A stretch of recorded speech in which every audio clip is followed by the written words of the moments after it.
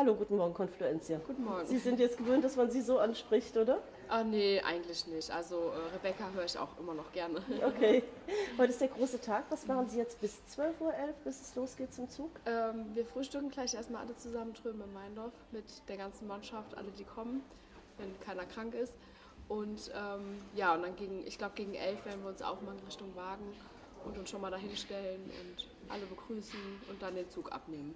Ist das für Sie tatsächlich jetzt auch so ein närrischer Höhepunkt? Ja, absolut. Ja, ich bin jetzt echt gespannt, wie das jetzt so alles abläuft, wie das ist, da oben auf diesem Wagen zu stehen. Sie waren noch gar nicht oben, oder? Nee, leider nicht. Ich habe immer nur Fotos gesehen und das ganze Wurfmaterial, was da so drin ist. Gut. Ja.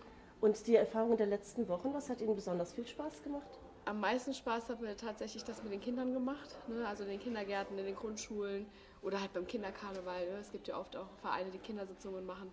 Ähm, das war so mein, mein Highlight immer für die, in den ganzen Wochen. Ja, schön. Und Aschermittwoch ist alles vorbei und was machen Sie dann? Ähm, dann bleibe ich noch so zwei, drei, vier Tage zu Hause und am Montag muss ich dann noch wieder arbeiten gehen. Und erstmal wird ausgeschlafen, oder? Ausgeschlafen, genau. Bisschen Wellness wollen wir machen übers Wochenende.